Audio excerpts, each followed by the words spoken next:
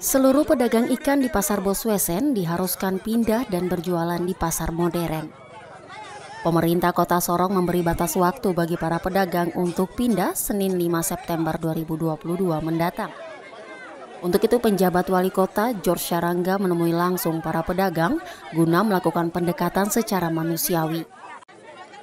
Pendekatan cara tersebut dilakukan agar para pedagang segera pindah secara sukarela tanpa penggusuran paksa, mengingat tempat yang saat ini digunakan para pedagang untuk berjualan nantinya akan dialihfungsikan menjadi ruang terbuka hijau.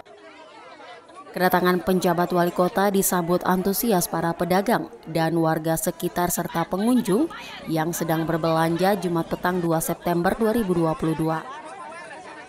Seluruh ikan yang sedang dijual langsung diborong penjabat wali kota untuk dibagikan ke warga yang mengerubuti kedatangannya.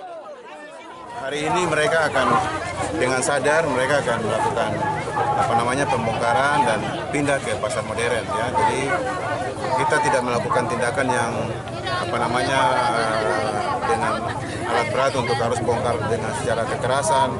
Karena mereka sendiri mengatakan bahwa biarlah mereka yang akan membongkar sendiri. Mereka punya eh, meja-meja. Uh, tapi uh, mungkin mereka minta untuk pemerintah uh, memperhitungkan mereka punya jualan terutama ikan ini kan sifatnya cepat rusak cepat busuk kita bayar sesuai dengan mereka punya uh, modal yang mereka keluarkan dan ikan itu dibayar tapi mereka bagi apa masyarakat yang ada di sini mereka ambil dan dia bawa pulang makan yaitu berkat untuk mereka.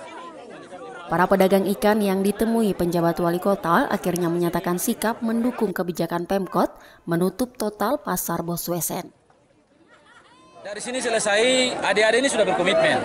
Begitu selesai dengan ini, mereka akan kembali ke sana hanya di sana nanti kalau mereka punya meja di, diatur sama pemerintah, baru mereka akan melakukan penjualan di sana. Jadi tindak lanjut dari kegiatan ini adalah mereka akan dengan sendirinya dengan sadar mereka akan pergi bergabung di pasar yang sudah disiapkan oleh pemerintah. Tim Liputan Papua Channel